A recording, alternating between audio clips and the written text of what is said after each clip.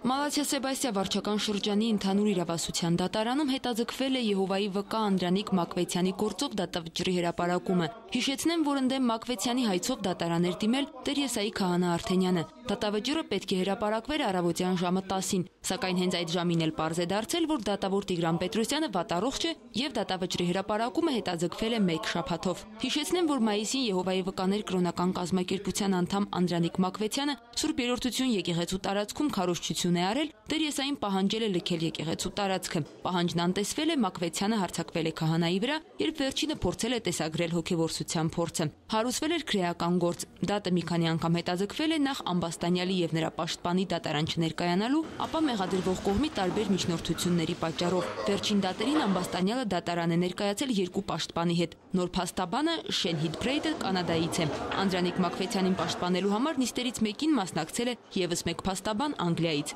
Դատավճիռը կհրապարակվի նոյեմբերի 28-ին։